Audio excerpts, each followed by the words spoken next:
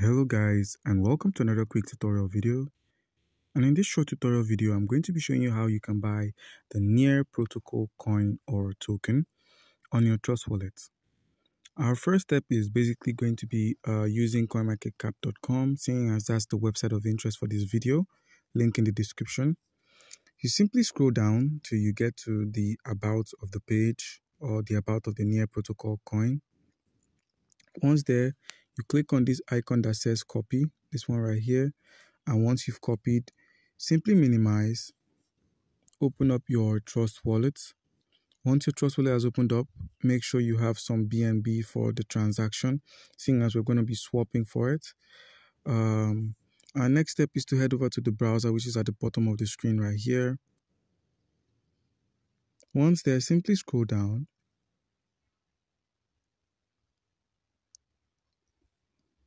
and click on Pancake Swap. And once it opens up, you simply make sure you are on the Smart Chain network by simply clicking on this three dotted icon at the top right corner of the screen. Click on Ethereum, switch it over to BNB Smart Chain, and the effects will go across the site. Now, our next step is to simply click on this cake and then when you have the option to select the token in the search name or paste address, simply paste the address we just copied. And near appears, click on import. Click on understand. It's a low risk uh, transaction, so we can then move on. Click on this BNB and simply select a token you'd like to swap, trade, or exchange for the um for the near. So you simply click on DAI I'm going to be using DAI for this video. I'll click on max. Both of them are low risk. So this is what we're getting. And then I'm going to take the slippage tolerance down to 1%. Click on enable DAI.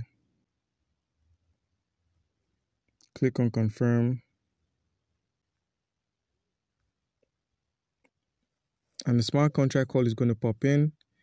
Click on approve and boom, click on add near to wallets, click on OK, close this, close Pancake Swap, and then once you reload, reload for a little bit, and boom, the near is here. As you can see, we swapped our DAI for the BEP20 near. So that's it. Do comment down below if you have any questions concerning how we can go about this, and you'll be given an answer. Thank you.